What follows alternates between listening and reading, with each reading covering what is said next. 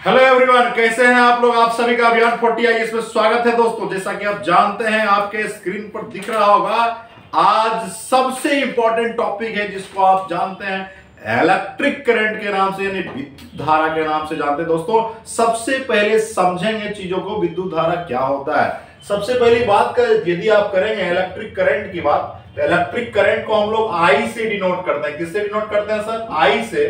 और इसका जो यूनिट होता है, वो हमारा एम्पियर होता है। क्या होता है, सर? एम्पियर होता है। अगर विद्युत धारा की जब बात करते हैं तो विद्युत धारा क्या है? तो सबसे पहले जानेंगे चार्ज की प्रवाह की दर को विद्युत धारा कहते हैं। यानी आप कह सकते हैं कि चार्ज का मतलब क्यू हो गया। क्यू बराबर, सर, क्या हो जाएगा? बताइए। यानी चार्ज के प्रवाह की दर को क्या कहते हैं विद्युत धारा? यानी आई बराबर क्यू बटा टी यानी ये हमारा क्या है, सर? चार्ज है।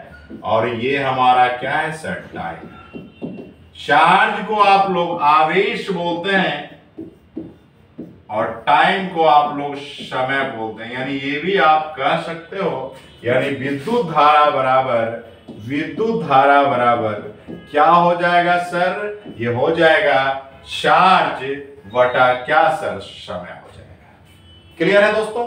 अब जब यहाँ तक हम लोग आए तो याद कीजिएगा हम लोग पढ़े थे Q बराबर एनी जब चार्ज में पढ़ा रहा था तो आपको पढ़ाया गया था Q बराबर एनी यानी I बराबर आप लिख सकते हो Q के जगह पर एनी एन इंटू ई बटा टी ये हमारा हो जाता है। अब सवाल उठता है, सर, सवाल उठता है कि n क्या है, सर? N हमारा क्या है?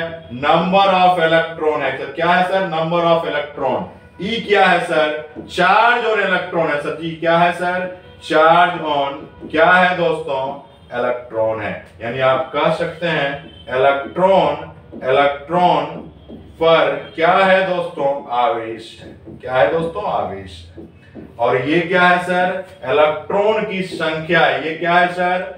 इलेक्ट्रॉन की संख्या है। और इसके बारे में आपको पता है, ये हमारा क्या है दोस्तों? आवेश यानी चार्ज। क्लियर है? ये फॉर्मूला हो गया। यदि आपसे पूछेगा, विद्युत धारा का, विद्युत धारा का मात्रक यानी यूनिट पूछेगा तो यूनिट हमारा दोस्तों, क्या होता है? एम्पियर होता है। क्या होता है दोस्तों? एम्पियर यानी विद्युत धारा की इकाई हमारी एम्पियर होती है।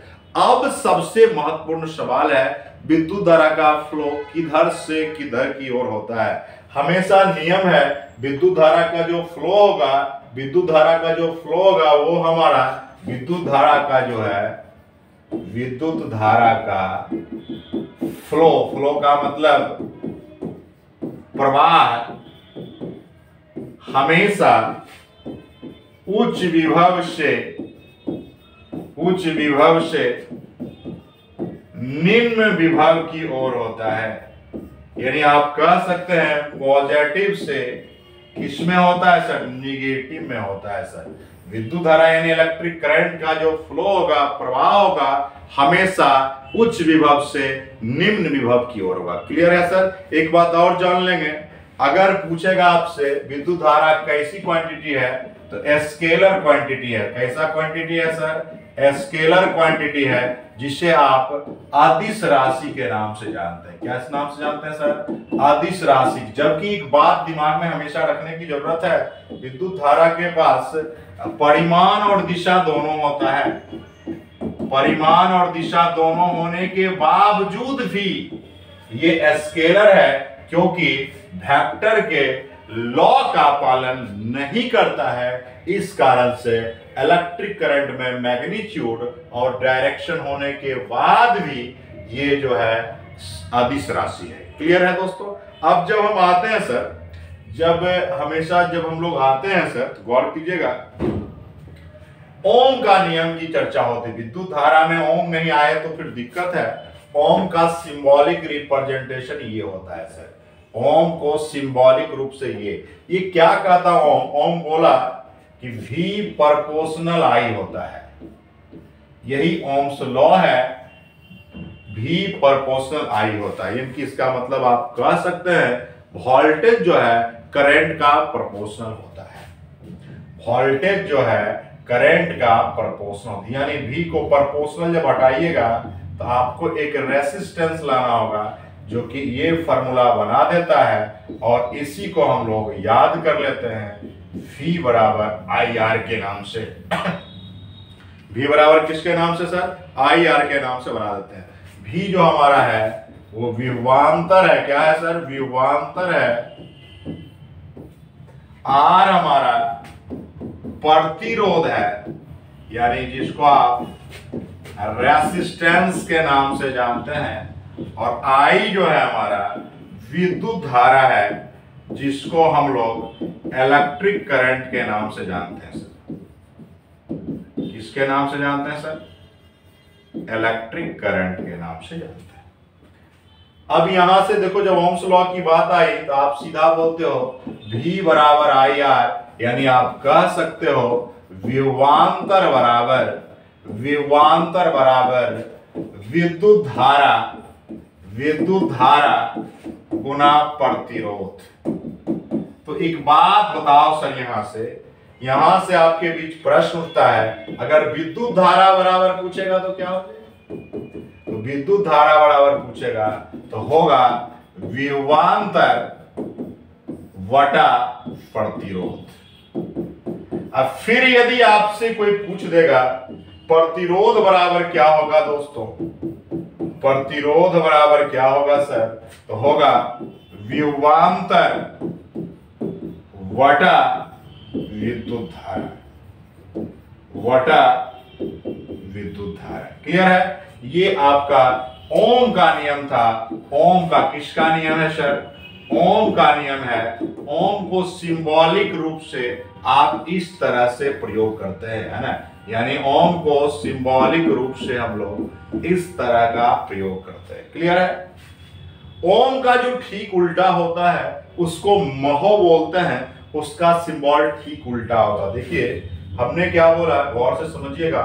ओम ऐसा होगा और महो अपना ऐसा होगा। ओम हमारा ऐसा होगा, ये ओम है और ये महो है। देखिए, O H M M H clear है? यही हमारा ओम था और यही हमारा क्या है दोस्तों? महो है। जब फिर आगे की बात जब आती है दोस्तों तो हम लोग प्रतिरोध की जब बात करते हैं, है ना? प्रतिरोध की जब बात करते हैं तो उसमें दो चीज़ें पढ़ने हैं। एक सीरीज़ पढ़ना है और पैरेलल पढ़ना है। क्या पढ़ना है सर? सीरीज़ और पैरेलल। प्रतिरोध की जब चर्चा होती है तो आपके पास जब आता है तो देखिए क्या है? प्रतिरोध के बारे में जब समझने की ज़रूरत है दोस्तों।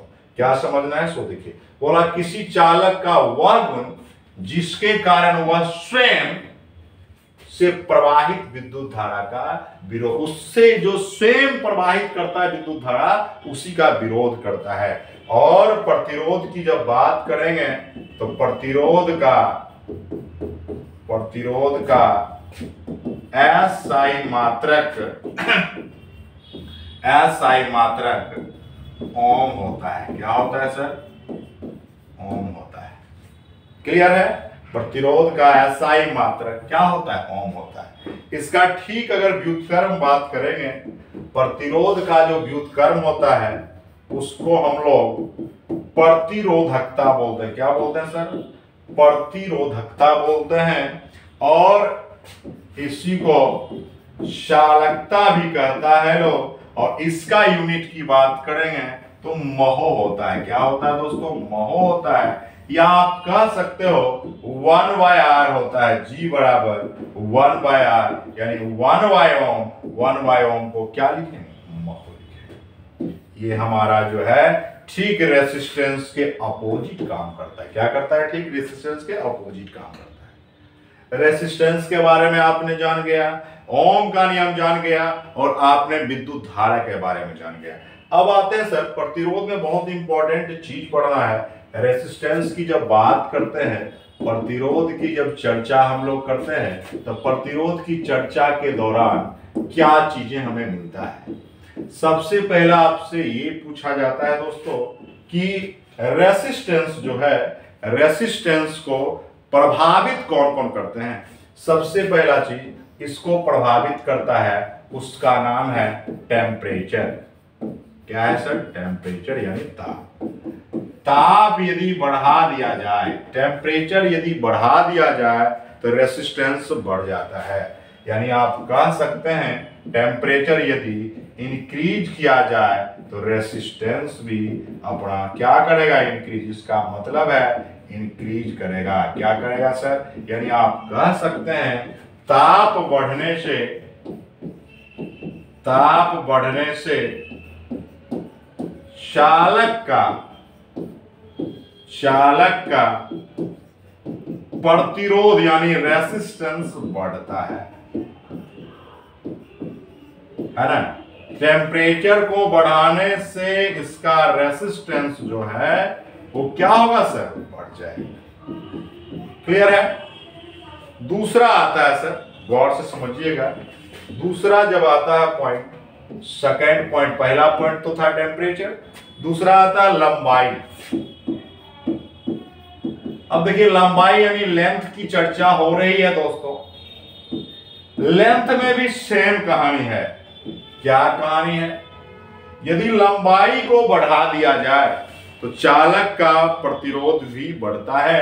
यानी आप कह सकते हैं आर प्रपोर्शनल एल यानी आप कह सकते हैं, चालक का चालक का प्रतिरोध उसकी लंबाई का, चालक का चालक का प्रतिरोध उसकी लंबाई का उसकी लंबाई का समानुपाती होता है। समानुपाती होता है। यानी ये जो सिंबल है, इसी को आप समानुपाती कहते हैं। अब सुनिएगा, जब इसकी बात है, यानी रेसिस्टेंस जो है, यानी आप कह सकते हो प्रतिरोध प्रपोर्शनल होता है। चालक की लंबाई का यानी समानुपाती होता है। ठीक है, पहली बात, ये बातें क्लियर हो गई सर दूसरी बातें यदि होगा, लंबाई का तीसरा आएगा सर तीसरा आएगा एरिया का। यानी जिसको आप क्षेत्रफल के नाम से जानते हैं। ये बोला, ये आर प्रपोर्शनल वन वाई यानी आप कह सकते हैं, चालक का चालक का प्रतिरोध यानी रेसिस्टेंस अनुप्रस्थ काट काट, क्षेत्रफल का का व्युत्कर्मानुपाती होता है। क्या होता है सर? इनवर्सली प्रपोर्शनल होता है, व्युत्कर्मानुपाती होता है। इसको आप लोग इनवर्सली प्रोपोर्शनल के नाम से जानते हैं। और ये अनुप्रस्थ काट जो है, इसको हम लोग क्रॉस सेक्शनल एरिया के नाम से जानते हैं दोस्तों। किस नाम से जानते हैं? क्रॉस सेक्शनल एरिया के नाम से। यानी आर प्रोपोर्शनल एल अब देखिएगा, जो अभी पिछले हमने लेक्चर में देखा, पिछले टॉपिक में देखा था कि हमारा आया था आर प्रपोर्शनल एल और यहाँ आया R proportional inversely proportional one by A clear है? इस दोनों को एक साथ करेंगे सर तो कुछ तो रिज़ल्ट मिलेगा। देखिए क्या मिलने वाला है। गौर से समझिएगा। हमने लिखा R proportional L R proportional one by A ये इक्वेशन को और इस इक्वेशन को जब एक साथ हम लाते हैं तो देखिएगा क्या होगा। आर प्रपोर्शनल एल वाई हो जाएगा सर, ये प्रपोर्शनल तो हटाना ही पड़ेगा। प्रपोर्शनल जब हटता है तो रो आता है, रो आता है। ये एक कांस्टेंट है। ये सर क्या है सर? कांस्टेंट। रो क्या है सर? कांस्टेंट है। ये क्या है सर? चालक का चालक का विशिष्ट प्रतिरोध है। क्या है सर रो? चालक का चालक का। क्या है दोस्तों? विशिष्ट प्रतिरोध है। इसको इसे आप लोग, आप ये भी जानते हैं, ये सर, क्या है सर? प्रतिरोधकता भी कह सकते हैं। क्लियर हो गया सर? अगर यहाँ से सवाल आएगा सर, आपसे पूछेगा, चालक का जो विशिष्ट प्रतिरोध है, इसका यूनिट कैसे निकालोगे? तो क्या जवाब देंगे? तो सुनिएगा बात को यहाँ से। रो बराबर क्या हो जाएगा? रो बराबर हमारा होगा आर इंटू ए बाय क्या एल क्रॉस मल्टीप्लाई करोगे तो देख सकते हो रो किसके साथ है? एल के साथ है, और ये हमारा क्रॉस मल्टीप्लाई में ये आ जाएगा। इसका ओम होता है ए आपका एरिया है मीटर स्क्वायर हो जाता है। लेंथ हमारा मीटर है कैंसिल हो गया। इसका यूनिट होता है ओम मीटर क्या होता है सर ओम मीटर किसका यूनिट सर यही जो आपका रो है, यानी चालक का विशिष्ट प्रतिरोध या प्रतिरोधकता का यूनिट यदि पूछेगा, यानी रो का यूनिट पूछेगा तो क्या होगा सर? ओम मीटर क्लियर है?